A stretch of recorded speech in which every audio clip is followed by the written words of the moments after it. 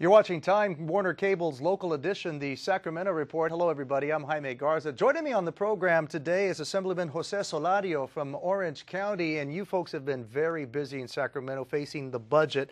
And one of the other big issues facing our state, and that's in your hands right now, is this water crisis. You know, what are we going to do to assure that we have our precious water, which is as precious as gold, gold and oil?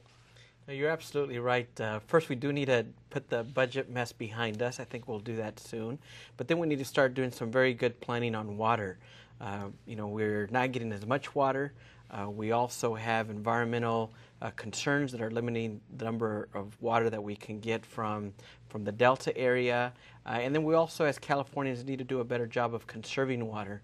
So I have a new water select committee that's looking at regional approaches to addressing the state's water crisis. Um, and then, uh, you know, we're also working on a, on a water bond that might be on a future ballot.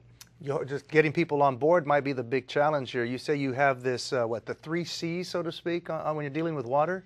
Yeah, you know, just to speak in uh, you know general terms, I'd like to say we need to do a better job of capturing the water. Right, a lot of rain comes down. That's we don't do a C. good job of capturing the water, so we may need dams or you know better ways of storing water underground. Uh, we then have uh, the need for conveyance. We need to do a good job of moving the water around, whether it be from the delta or from dams or from our water basins. And then the third C, and it's an important third C, and that's conservation. Uh, we actually, in some parts of the state, do a good job. In Southern California, for example, uh, we spend the same amount of water now as we did back in the 1980s. So we're doing a good job of conservation. We could do a better job statewide. We have more people in the state now.